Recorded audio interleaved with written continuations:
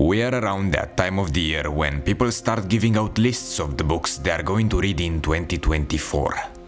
And 90% of them are mid at best.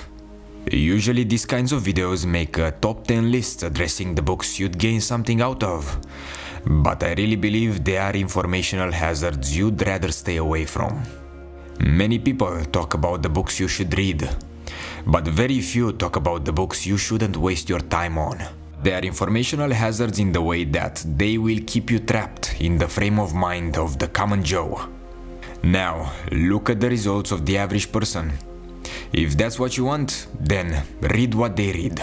But if you've always been a misfit since birth, and it's not something you use as a personality trinket you gain from TikTok, then it's time to listen. You cannot afford to read mainstream books. They are cookie cutter templates for staying in the middle. They are designed from the very beginning to resonate with the widest amount of people as possible. Because that's what gets the most sales. They are at best watered down versions of the real cutting edge information the writer has in storage.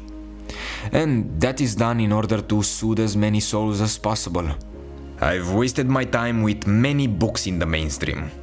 How to win friends and influence people, the subtle art of not giving a fuck, and even books that sound edgy and revolutionary like The 48 Laws of Power. While not all information is bad, it's leading you astray. You read these kinds of popular books and then you think to yourself that you've gained the most esoteric unknown knowledge on the planet. If it were esoteric, my friend, it wouldn't be on the front middle row of the bookstore. The problem is not that the information in those books is bad. The problem is that if you think that's the best there is, you've been led astray. I see bookstores as the beginning phase of the journey.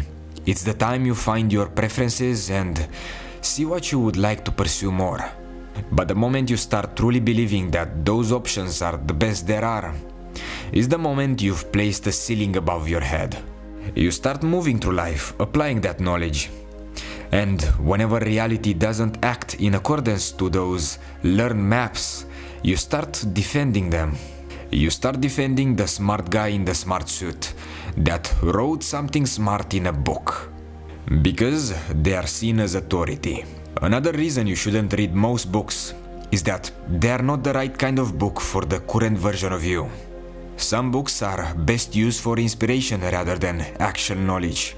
Take an out of body view at your current situation in life and tell me what part of you has any use for the information of a billionaire's biography.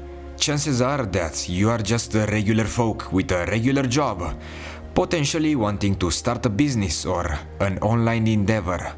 So, what in the fuck does a billionaire have to teach someone in a place like you? The gap between your levels in life are beyond imaginable. At best, the words of a billionaire are to the average Joe as good as a Netflix show. They will never really apply to most. The way you get from broke fella to unbroke fella is different from the way you get from 10 million income to 100 million income. There is no use for such books, it's just another neat way to waste time. Books should be highly tailored to you and your specific needs in life. Paradigm shifting books are rare, and those are the kinds of books you want to read.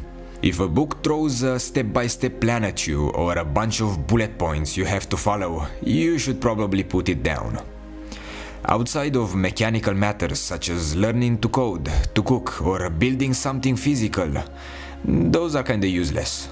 A step by step way of thinking in any realm that has any resemblance of art is a waste of time. Most of life is art and quite a small amount of mechanical. The biggest problems we seek solutions for are in the realm of the metaphysical, as the mechanical problems have mostly been solved. They are of the realm of art and should be treated as such.